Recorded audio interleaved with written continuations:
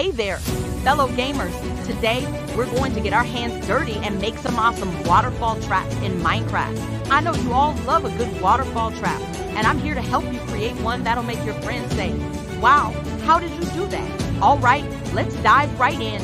The key to a successful waterfall trap is choosing the right spot. Make sure you find an area with two adjacent blocks that can be mined away. This will allow you to create a seamless transition from your base to the top of the waterfall. Once you've got your spot picked out, it's time to get digging. Now, here's where things get interesting. You want to create a staircase leading up to the top of the waterfall, but don't worry, we're not done yet.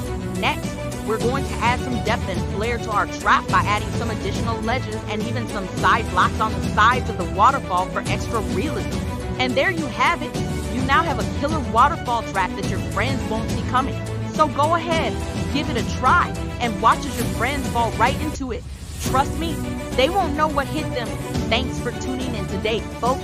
If you found this tutorial helpful, don't forget to hit that like button and subscribe for more awesome Minecraft tips and tricks.